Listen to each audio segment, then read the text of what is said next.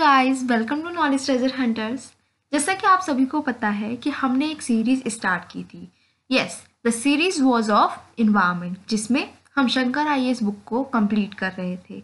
Guys हमने chapter one two in fact chapter three जो कि मोस्ट टफेस्ट चैप्टर हमें लगता है और सबसे ज़्यादा लेंदीस्ट चैप्टर लगता है, वो भी कंप्लीट कर लिया है। तो आज क्या करना है? आज हमें कंटिन्यू करना है और इवन हम बोले तो ये सही रहेगा कि हमें स्टार्ट ही करना है अपना chapter number four chapter number four जिसमें हम एक्वेटिक इकोसिस्टम के बारे में सारी नॉलेज को गेन करने वाले हैं।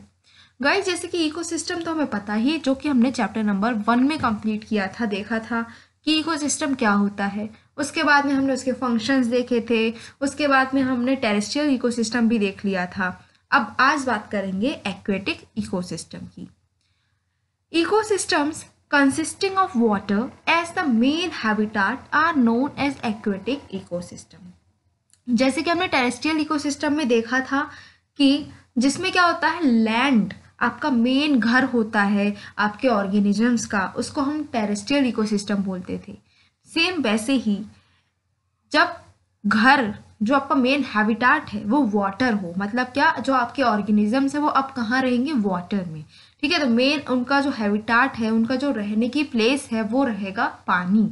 तो जब ऐसा होता है कि पानी में आपका जो ऑर्गेनिजम्स है, चाहे वो प्लांट्स हों, चाहे वो एनिमल्स हों, वो पानी में रह रहे हैं तो उस इकोसिस्टम को हम क्या बोलते हैं? उसको हम बोलते हैं एक्वेटिक इकोसिस्टम जैसे कि नाम से भी वैसे पता चल ही रहा है एक्वेटिक मीन्स क्या होता है कि पानी से रिलेटेड है राइट तो एक्वेटिक इकोसिस्टम क्या है कि ऐसा इकोसिस्टम जहाँ पर क्या है? पानी रहने की जगह है okay then aquatic ecosystems are classified based on their salt content अब जैसे कि हमने टेरेस्ट्रियल इकोसिस्टम में क्या देखा था कि डेजर्ट थे फॉरेस्ट थे ग्रासलैंड थे, ये सब हमने देखा था।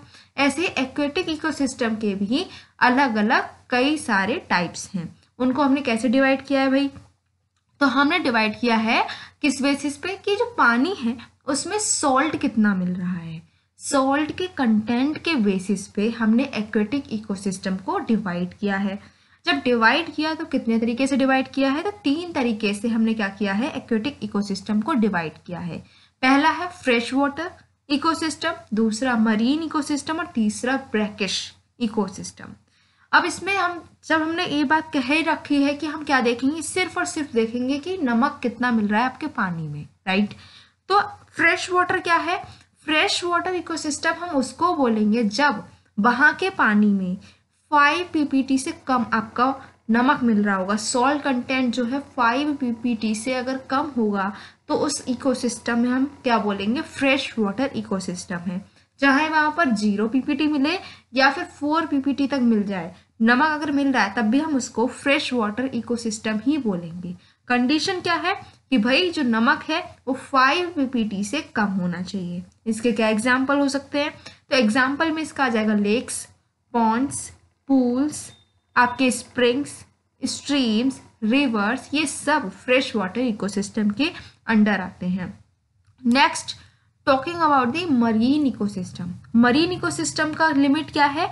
कि भाई, जब 35 पीपीटी से ज़्यादा 35 पीपीटी से जब ज़्यादा सोल्ट कंटेंट मिलेगा पानी में, तब हम उसको बोल देंगे कि ये तो मरीन इकोसिस्टम है। जैसे कि आपका सी हो गया ओशन हो गया ये सब मरीन इकोसिस्टम आता है। मतलब क्या, अगर पाँच से कम है तो तो फ्रेश वाटर है। पैंतीस से ज़्यादा है, तब आपका मरीन रहता है। तो ये ब्रैकिश कहाँ पर आएगा? तो ब्रैकिश आता है इन दोनों के बीच में। अगर पाँच से ज़्यादा है, पैंतीस से कम आपका सॉल्ट कंटेंट है, ठीक है फाइव पीपीटी से पैंतीस पीपीटी के बीच का अगर सॉल्ट कंटेंट होता है तो हम उसको बोल देते हैं ब्रैकिश वाटर इकोसिस्टम जैसे कि यहाँ पर क्या आ जाएगा?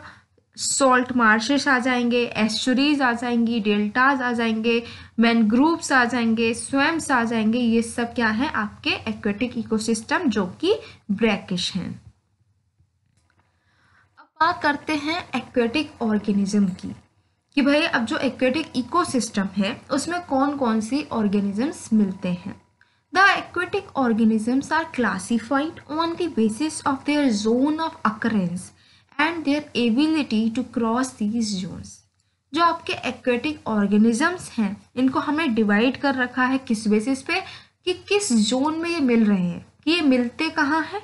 और जहाँ ये मिल रहे हैं, उस जोन को क्या ये पार कर पा रहे हैं कि नहीं कर पा रहे हैं? और अच्छे से आगे भी समझते हैं इसको।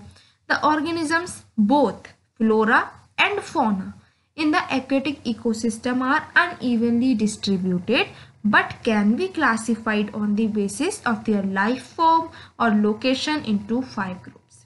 जो ऑर्गेनिजम्स हैं, चाहे वो फ्लोरा हो और फोना हो। अब भाई फ्लोरा और फोना क्या होते हैं?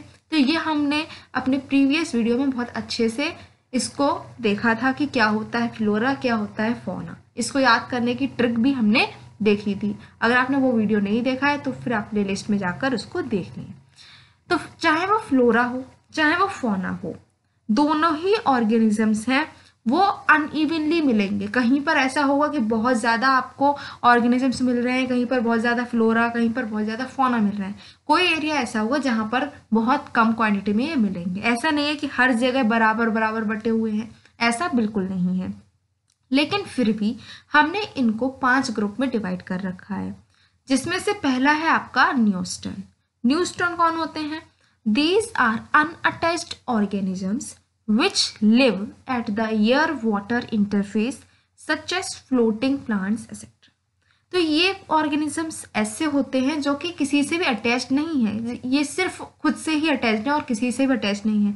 ना ही इनकी रूट्स ज़मीन में होंगी, ना ही किसी और प्लांट या फिर किसी और एनिमल पर अटैच्ड होंगे। ये इंडिपेंडेंट होते हैं, जो कि एयर और वाटर का जो इंटरफेस होता है, वहाँ पर मिलते हैं। जैसे कोई भी आपने देखा होगा, कोई फ्लोटिंग प्लांट आपको मिल गया। फ्लोटिंग एनिमल्स भी हमें मिलते हैं, जो पानी और हवा जहाँ पर मिलती है, बिल्कुल पानी जो हम देख रहे हैं, उसी के ऊपर ये तैरते हुए होते हैं। तो इनको हम बोलते हैं न्यूस्टन न्यूस्टन मीन्स क्या है? कि ऐसे ऑर्गेनिजम्स हैं, ऐसे प्लांट्स हैं, जो कि ऐसी जगह पर मिल रहे हैं, जो सरफेस है। ऊपर से हवा इनको मिल रही है, नीचे से पानी। उसके बीच में ये मिलते हैं हमें। फ्लोटिंग रहते हैं। जैसे कि लोटस लोटस क्या नीचे डूबा हुआ तो नहीं होता है, पानी के ऊपर मिलता है और हवा ऊपर से मिल रही होती है तो उस इंटरफेस पे ही मिलता है। तो ये क्या है? न्यूस्टन है। Some organisms spend most of their life on the top of air water interface such as water striders while other spend most of their time just beneath the air water interface and obtain most of their food within the water for example beetles and backswimmers तो कुछ organisms तो ऐसे होते हैं जो कि पानी के ऊपर रहते हैं। जैसे कि आपका वाटर स्टाइडर हो गए लेकिन कुछ ऐसे होते हैं जो कि बहुत गहराई में तो नहीं रहते हैं। जैसे पानी जो है, उसके बिल्कुल नीचे रहेंगे। बिल्कुल ऊपर ही रहेंगे, लेकिन क्या होगा कि पानी के नीचे डूबे हुए रहेंगे। तो ये क्या है कि जहाँ पर आपका एयर वाटर इंटरफेस है तो उसके बिल्कुल थोड़े से नीचे ही रहते हैं ये। जस्ट बीनीथ ठीक है, बिल्कुल नीचे गहराई में नहीं होंगे। तो ये कैसे हैं? इनको आप एग्ज़ाम्पल में ले सकते हो बीटल्स को बैक स्विमर्स को। जो कि आप ऊपर अगर खड़े होकर देखोगे तो आपको वो दिख जाएँगे। क्यों दिख जाएँगे? क्योंकि वो नीचे पानी की गहराई में नहीं है। बिल्कुल ऊपर ही है, लेकिन पानी में डूबे हुए रहते हैं। ऐसे होते हैं। इनके एग्ज़ाम्पल बीटल बैक्सीमर है। और जो पानी से ऊपर आ जाते हैं, वो आपकी कौन है? वाटर स्टाइडर है। और ये दोनों ही चीज़ें आपके न्यूस्टन के अंदर आती हैं। नेक्स्ट कैटेगरी हमारी है पेरीफाइटन पेरीफाइटन क्या होते हैं? These are organisms which remain attached to stems and leaves of rooted plants or substances emerging above bottom mud such as sessile algae and their associated group of animals periphyton कौन से होते हैं? ये वो organisms होते हैं जो कि खुद तो मिट्टी में अटैच नहीं होते हैं, बल्कि ये क्या करते हैं? जो आपके ऐसे प्लांट्स जो मिट्टी में अटैच्ड हैं, मिट्टी में उगे हुए हैं, ज़मीन के अंदर, पानी के अंदर मिट्टी में उगे हुए प्लांट्स होते हैं, उनकी स्टेम्स पर ही अटैच्ड होते हैं या फिर उनकी लीव्स पर ही अटैच्ड हो जाते हैं। ये वो होते हैं। मतलब क्या है? खुद तो पानी के अंदर होंगे, लेकिन इनकी जो रूट्स हैं या फिर ये खुद खुद जो आपके पानी के नीचे की मिट्टी है, उसमें अटैच नहीं होते हैं। बल्कि दूसरे प्लांट्स जो कि पानी की मिट्टी जो है नीचे, उसमें अटैच्ड होते हैं, उन प्लांट्स के स्टेम्स और उन प्लांट्स की लीव्स पर पेरीफाइटिन अटैच्ड हो जाते हैं। जैसे कि इनमें है सेसिले एल्गी और इसके जो भी एसोसिएटेड ग्रुप हैं एनिमल्स के, वो सब इसमें आ जाते हैं, जैसे कि इस आपकी इमेज में दिख भी रहे हैं कुछ। ये एल्गी है सेसिले एल्गी थर्ड कैटेगरी है प्लैंकटन प्लैंकटन मोस्ट कॉमन नाम है। हम सबने इसके बारे में पढ़ा है और इसके बारे में हम सबसे ज़्यादा सुनते हैं। न्यूस्टन हो सकता है ना सुना हो, पेरीफाइटन हो सकता है ना सुना हो, लेकिन प्लैंकटन अगर हमने इकोसिस्टम पढ़ा है, अगर हमने इन्वायरमेंट पढ़ा है तो हमें प्लैंकटन के बारे में तो ज़रूर पता होगा। नहीं बताया तो आज पता कर लेते हैं। क्या होते हैं plankton? This group includes both microscopic plants like algae phytoplankton, and animals like crustaceans and protozoans, zooplankton, found in all aquatic ecosystems except certain swift moving waters. जो प्लैंकटन है, इसमें आपके प्लांट भी आएँगे, इसमें आपके एनिमल्स भी आएँगे, लेकिन कैसे होंगे? माइक्रोस्कोपिक होंगे। माइक्रोस्कोप की मदद से ही हम इनको देख सकते हैं। जैसे कि एल्गी हो सकती है जू प्लैंकटन हो सकते हैं क्रिस्टेशियंस हो सकते हैं प्रोटोजुअन्स हो सकते हैं। कहाँ मिलेंगे ये? तो ये हमें हर जगह मिल जाएँगे। जितने भी एक्वेटिक इकोसिस्टम हैं, सारे एक्वेटिक इकोसिस्टम में मिलेंगे। लेकिन ऐसी जगह नहीं मिलेंगे जहाँ पर पानी जो है बहुत तेज़ बह रहा है। अगर पानी बहता हुआ है, उसकी स्पीड ज़्यादा है तो वहाँ पर हमारे जो प्लैंकटन हैं, वो नहीं मिलेंगे। ऐसा क्यों है? क्योंकि इनकी लोकोमोटरी पावर जो है, इनकी जो मूवमेंट की पावर है मूविंग पावर है, वो लिमिटेड होती है। ये जो है बहुत जल्दी मूव नहीं कर पाते हैं। जब ये मूव नहीं कर पाएँगे और तेज पानी बह रहा होगा, उसके साथ में बह नहीं पाएँगे तो क्या होगा? फिर ये मर जाएँगे, इसीलिए वहाँ पर मिलते ही नहीं है। ये लिखा हुआ भी है। क्या लिखा है? कि the locomotory power of the planktons is limited so that Their distribution is controlled largely by currents in the aquatic ecosystem. तो अगर पूछा जाए कि ऐसे कौन से आपके ऑर्गेनिजम्स हैं एक्वेटिक ऑर्गेनिजम्स हैं, जिनकी लोकोमोटरी पावर लिमिटेड होती है? तो वो आपके होते हैं plankton next is nekton this group contains animals which are swimmers अब नेक्टन में कौन आएँगे? नेक्टन में वो सारे एनिमल्स आ जाएँगे जो कि आपके स्विमर्स हैं। तो ध्यान रखने की चीज़ तो ये है कि यहाँ पर प्लांट्स नहीं है। यहाँ पर सारे के सारे एनिमल्स हैं और वो भी कौन से? जो कि स्विम कर सकते हैं। The nektons are relatively large and powerful as they have to overcome the water currents अब पानी जो है, उसके बहाव, उसका जो करंट है, उसकी जो स्पीड है, उससे इनको जीतना पड़ेगा, उसको ओवरकम करना पड़ेगा। तो ज़रूरी है कि उसकी स्पीड जो है, उसकी फोर्स जो है, उसको ये काट पाए। इसलिए ये ज़्यादा स्ट्रांग होते हैं। तो ये स्ट्रांग होते हैं बड़े होते हैं और पावरफुल होते हैं जिससे कि जो पानी का बहाव है उससे ये जीत सके। तभी तो ये, आगे मूव कर पाएँगे। वरना पानी अगर तेज बह रहा है इनके अंदर इतनी पावर नहीं है तो पानी तो अपने साथ इनको उठाकर ले ही जाएगा राइट तो पानी बह रहा है उसमें भी ये रुके रहें। खुद को ये जहाँ चाहते हैं वहाँ मूव कर सके। उसके लिए इनको चाहिए कि पावरफुल हों।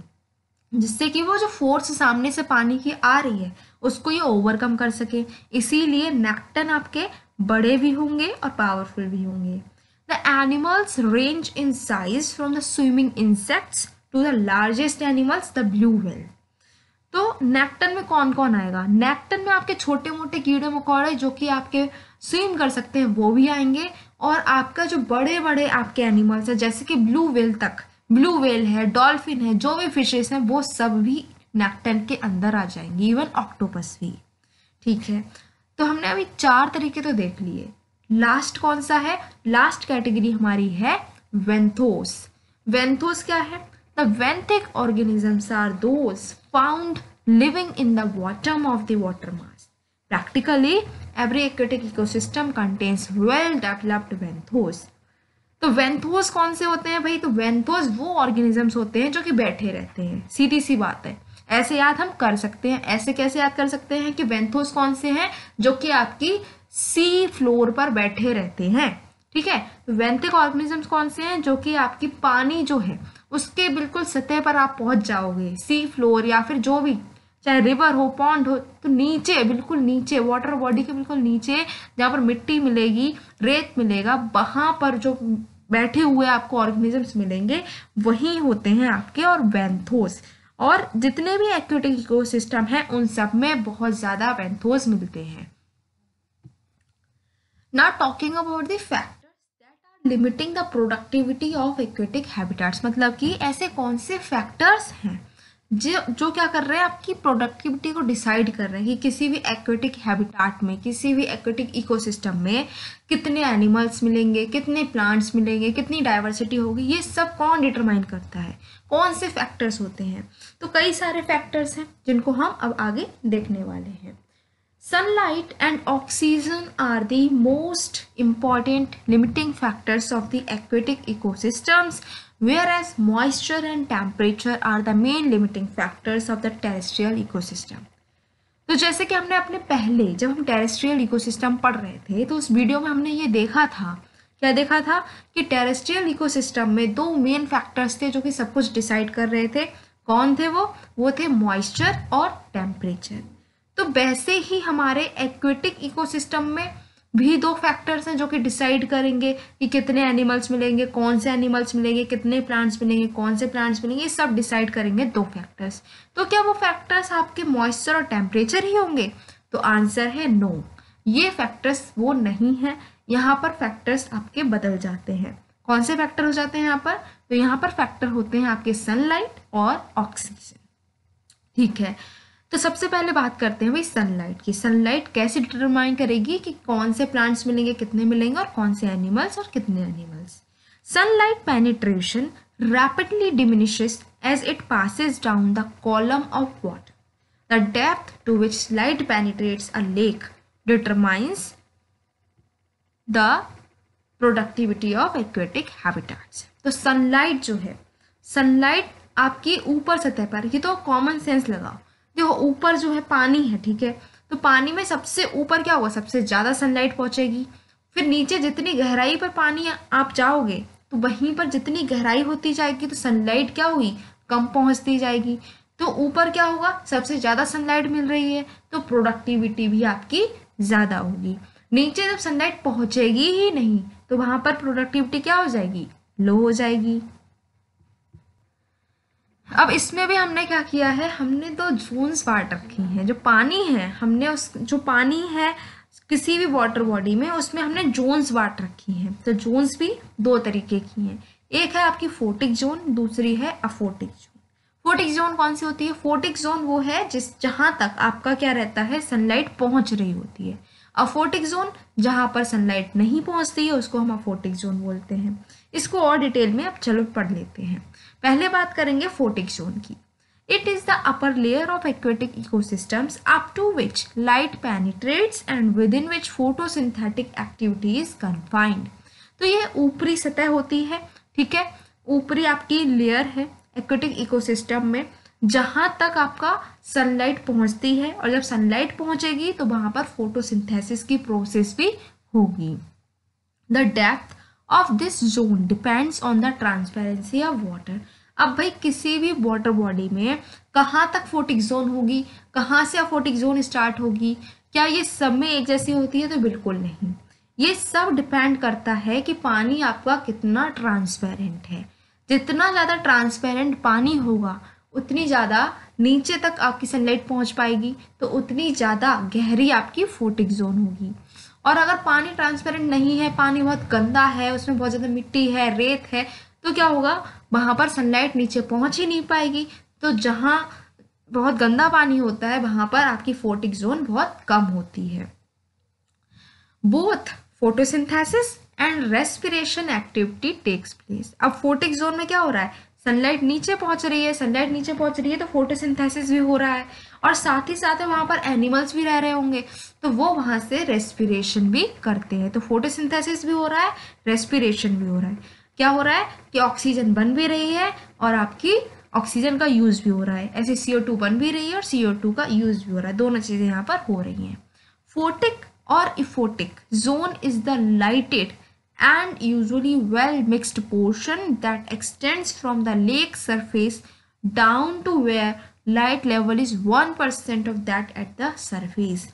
अब अगर हम थोड़ी साइंटिफिकली बात करें, थोड़े हमें अगर फैक्चुअल अपना आंसर बनाना है, उसमें थोड़ा अच्छे से लिखना है तो उसमें क्या लिखना पड़ेगा? हमें ये नहीं लिखना पड़ेगा कि बस लाइट जहाँ तक जा रही है, वहीं तक हमारा फोटिक जोन है। ये तो कॉमन लोग बोलेंगे। लेकिन हमने क्या करा हमने इन्वायरमेंट को पढ़ रखा है। तो हम क्या बोलेंगे?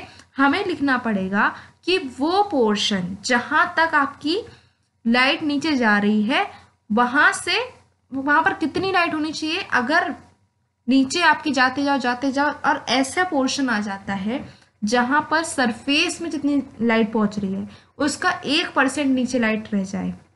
वो आपका पूरा पोर्शन क्या हो जाएगा? वो हो जाएगा आपका फोटिक जोन तो फोटिक जोन क्या है?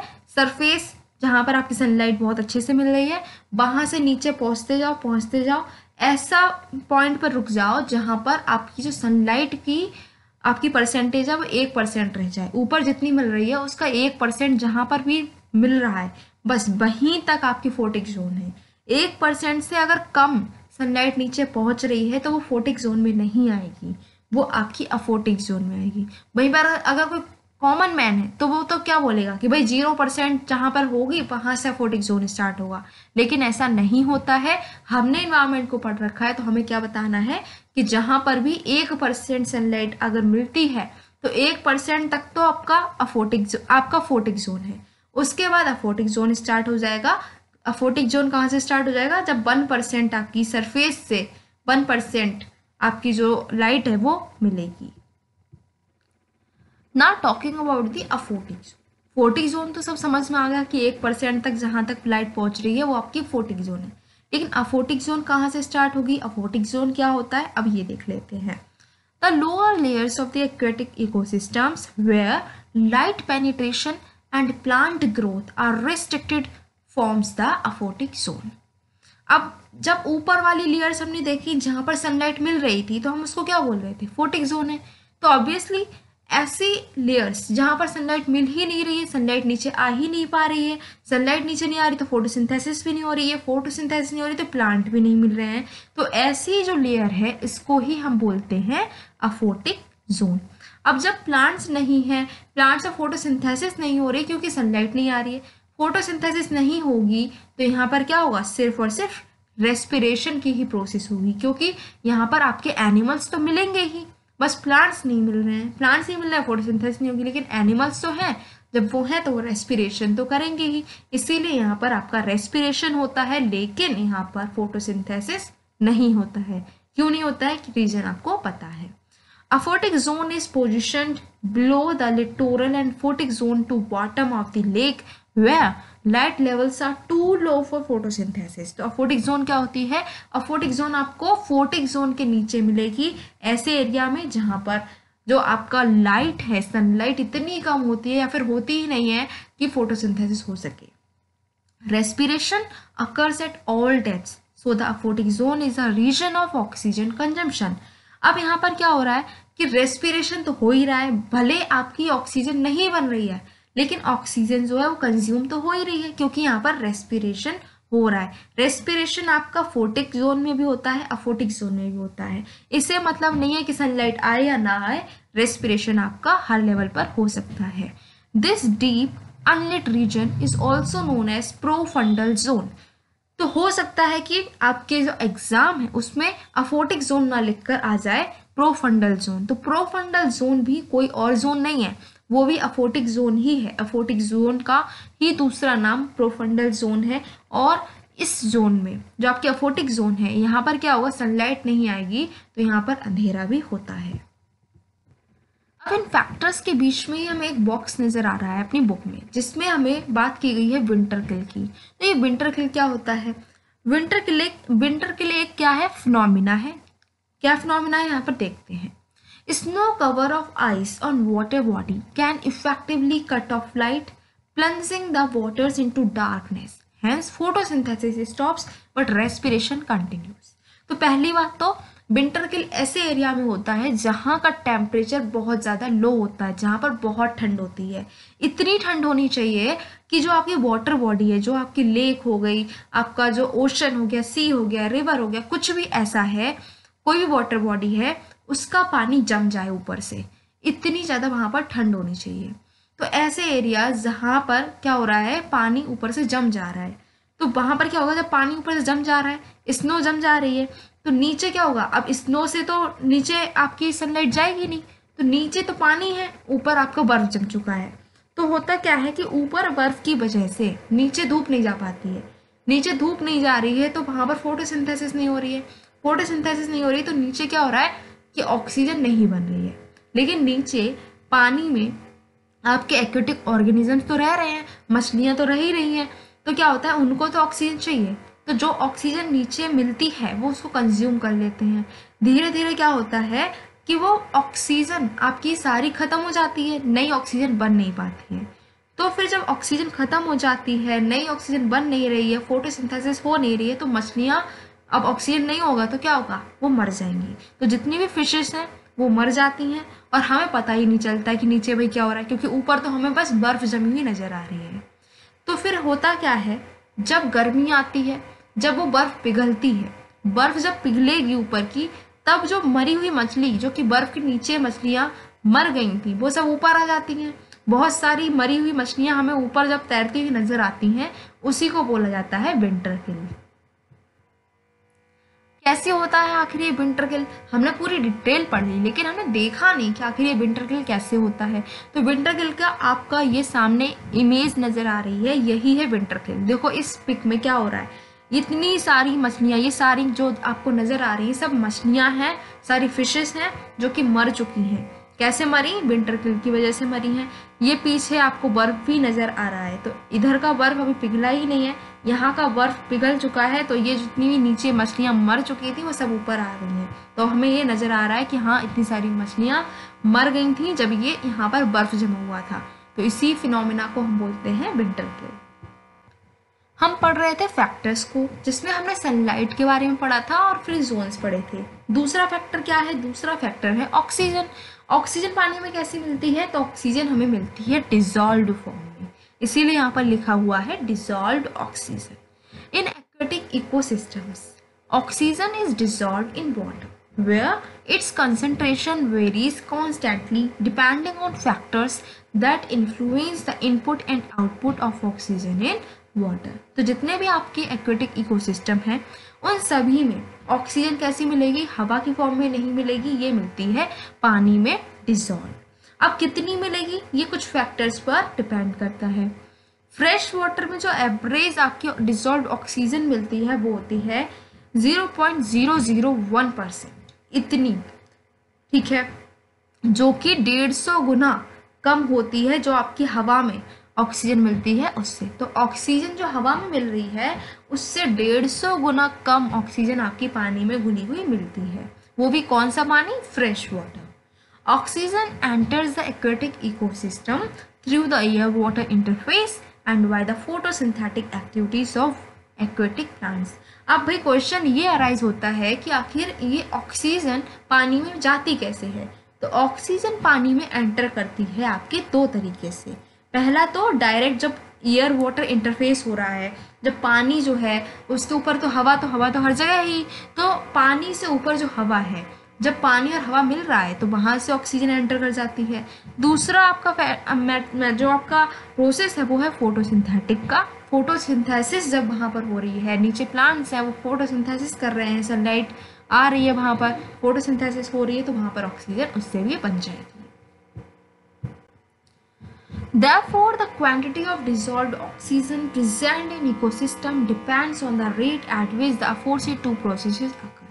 इसीलिए कि किसी भी पानी में कितनी ऑक्सीजन मिलेगी वो भी डिसॉल्व ये किस पर डिपेंड करेगी कि किस स्पीड से वहाँ पर फोटोसिंथेसिस हो रही है कितनी ज़्यादा फोटोसिंथेसिस हो रही है और दूसरी कि एयर वाटर इंटरफेस कितना बड़ा है कितने एरिया में ऐसा हो रहा है कि पानी जो है हवा से मिल रहा है तो जितनी तेज फोटोसिंथेसिस होगा, जितनी ज़्यादा एरिया में आपका एयर वाटर इंटरफेस चल रहा होगा, उतना ही आपको ज़्यादा डिजॉल्व ऑक्सीजन मिल जाएगी। अब मिल तो गई एंटर कर लिया ऑक्सीजन ने पानी में। लेकिन अब ये बाहर कैसे निकलती है? आपका जो सी है, वो कैसे बाहर आता है? ऑक्सीजन कैसे बाहर आती है पानी से? तो जैसे कि हमने देखा है, पहली चीज़ तो वही एयर वाटर इंटरफेस से, जैसे एंटर करेगी, वैसे बाहर भी निकल जाएगी। दूसरी चीज़ रेस्पिरेशन रेस्पिरेशन जो ऑर्गेनिज्म जो है, वो सांस ले रहा है, उससे भी ऑक्सीजन जो है, वो बाहर आती है। जैसे फ़िश हो गई डिकम्पोजर हो गए जू प्लैंक्टन्स हो गए, इन सबको क्या चाहिए होता है? रेस्पिरेशन करना होता है। तो फोटोसिंथेसिस से तो आपकी एंट्री होती है ऑक्सीजन की और रेस्पिरेशन से बाहर निकलती है। The amount of dissolve oxygen retain in water is also influenced by temperature दूसरी चीज़ कि कितना आपका ऑक्सीजन मिलेगा पानी में, ये इस पर भी डिपेंड करता है कि पानी का टेम्परेचर कितना है। गर्म पानी में ऑक्सीजन कम घुलती है, लेकिन वहीं पर अगर पानी जो है, वो आपका ठंडा हो कोल्ड वाटर हो तो वहाँ पर ऑक्सीजन ईजिली डिजॉल्व हो जाती है। इसीलिए जो आपका कोल्ड वाटर होता है, वहाँ पर ज़्यादा ऑक्सीजन मिलेगी। अगर हम बात करें गर्म पानी की तो वहाँ पर कम ऑक्सीजन मिलेगी। When the dissolved oxygen level falls below 3 to 5 ppm. Many aquatic organisms are likely to die. अब जो है ऑक्सीजन कम होती जाती है, कोई बात नहीं। बहुत कम हो जाती है। जब ऑक्सीजन जो है आपका थ्री से फाइव पीपीएम तक पहुँच जाए, तब क्या होता है? जितने भी ऑर्गेनिज्म हैं, अब वो सरवाइव नहीं कर पाते, अब वो मरना शुरू कर देते हैं। वो जो जितनी ऑक्सीजन है, वो उनको सफिशिएंट हो नहीं पाती है, उनकी दम घुट जाती है और वो सब मर जाते हैं। नेक्स्ट फैक्टर है transparency transparency affect the extent of light penetration जैसे कि हमने पहले भी डिस्कस करा था कि पानी जितना ज़्यादा ट्रांसपेरेंट होगा, उतनी ज़्यादा आपकी सनलाइट वहाँ पर पहुँचेगी। Suspended particulate matter such as clay silt phytoplankton etcetera make the water turbid अब उसमें अगर मिट्टी घोल दी जाए सिल्ट हो, या फिर आपके फाइटो मिल जाए तो पानी जो है, वो कैसा हो जाएगा? टर्बिट हो जाएगा, वो गंदा हो जाएगा। पानी जब गंदा हो जाएगा तो वहाँ पर आपकी जो सनलाइट है वो एंटर नहीं कर पाएगी। और जब एंटर नहीं कर पाएगी तो फोटोसिंथेसिस ढंग से नहीं हो पाएगी। And the last factor that affects the productivity of aquatic ecosystem is temperature और कौन सा फैक्टर है? तो जो आखिरी फैक्टर है वो हमारा कौन सा है? Temperature the water temperature changes less rapidly than the temperature of air because water has a considerably higher specific heat than air that is larger amounts of heat energy must be added to और taken away from water to raise और lower its temperature जो पानी है, अगर हम हवा से compare करें तो हवा जो है वो जल्दी गर्म होगी जल्दी ठंडी हो जाएगी। लेकिन पानी धीरे धीरे गर्म होता है और धीरे धीरे ही ठंडा होता है। उसका टेम्परेचर जल्दी से चेंज नहीं होता है। क्यों नहीं होता है? क्योंकि जो आपका पानी है, उसकी स्पेसिफिक हीट बहुत ज़्यादा होती है। अब क्योंकि पानी जो है, उसका टेम्परेचर इतनी जल्दी चेंज नहीं होता है, इसीलिए जो भी उसमें ऑर्गेनिजम्स होते हैं, उनकी भी आदत ऐसी नहीं होती है कि वो अलग अलग टेम्परेचर्स में सर्वाइव करें। उनकी भी आदत ऐसी ही बनी हुई होती है कि वो कांस्टेंट टेम्परेचर में रहते हैं। अब अगर ऐसा होता है कि पानी का टेम्परेचर एकदम से बहुत ज़्यादा चेंज हो जाता है ठंडा पानी था तो एकदम से बहुत गर्म हो गया या गर्म पानी ठंडा हो जाता है तो जो भी ऑर्गेनिजम्स जो पानी में मिल रहे होते हैं, वो सर्वाइव नहीं कर पाते हैं। वो इस इस चेंज को अडॉप्ट नहीं कर पाते हैं और अल्टीमेटली क्या होता है, वो सब सर्वाइव ना करने की वजह से उन सब की डेथ हो जाती है। तो ये भी, ये प्रोडक्टिविटी को अफेक्ट करता है। क्या चीज़ थी ये? टेम्परेचर और इसी के साथ में हमारे जितने फैक्टर्स थे, वो कंप्लीट होते हैं और आज की वीडियो भी। क्योंकि हमने इतना सब कुछ पढ़ लिया है, हमारा इतना लेंथी कोई इसका सिलेबस भी नहीं है तो हम धीरे धीरे इसको कंप्लीट कर रहे हैं। गाइज़ आई होप आपको समझ में आया होगा इंटरेस्टिंग लगा होगा। अगर आपको सब समझ में आया है तो आपको करना क्या है? वीडियो को लाइक करना है शेयर करना है और सब्सक्राइब करना है। मिलते हैं नेक्स्ट वीडियो में, इसके आगे कंटिन्यू करने के लिए। Till then keep your knowledge hunting on